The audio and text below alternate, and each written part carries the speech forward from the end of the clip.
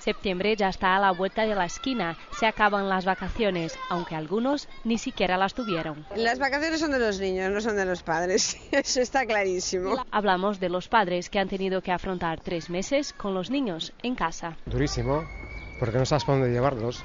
Los campamentos, abuelos. Mi mujer trabaja, yo trabajo, entonces buscar a mi madre, campamento de verano, cualquier cosa que se pueda hacer.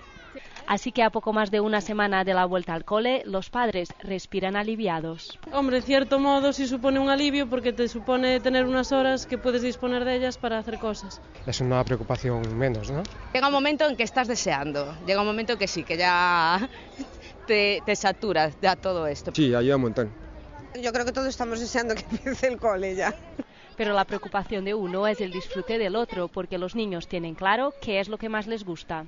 Las vacaciones. Estar de vacaciones. Estar de vacaciones.